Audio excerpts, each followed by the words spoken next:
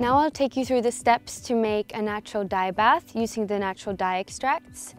We have um, three different kinds here. There's Brazil wood, Indian berberis and alkanet. The process is exactly the same.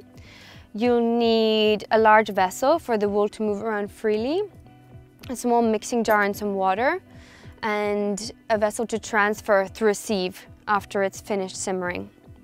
You'll need the mordanted wool, which you mordanted with alum. Now I'll take you through the steps. The dyes we are using here are natural dye extracts sourced from India. They are grown there and produced there by a small supplier. It's also possible to source natural dyes from your local environment, from nature or your kitchen food waste. The dyes supplied in the kit are for the total amount of wool, which is 400 grams. If you're using less wool, measure the dry weight of the wool and calculate the dye extract at 30% of the total weight. Make sure you've prepared the wool according to the instructions for mordanting. Wool must be wet to dye, so if you dried it after mordanting, now is the time to submerge it in water.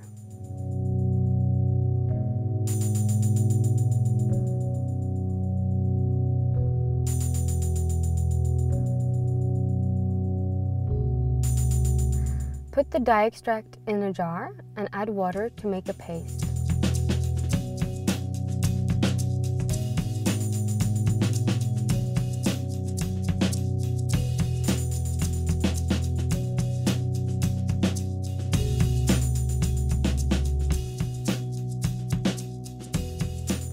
So the dye has been simmering for about 20-30 minutes and it's ready to dye, but first I have to filter it. So I'm going to pour it over here into another container.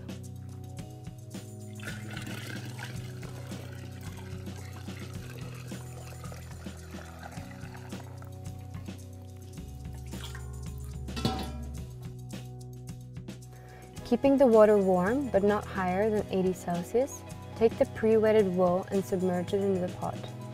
Make sure it has enough space to move around. Leave the fiber in the pot for 20 to 40 minutes, stirring occasionally. So once the wool has been there for about 30 minutes, you can look at the color.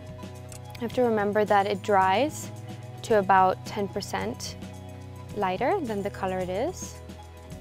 If you like the color, you can take it out and rinse it in water.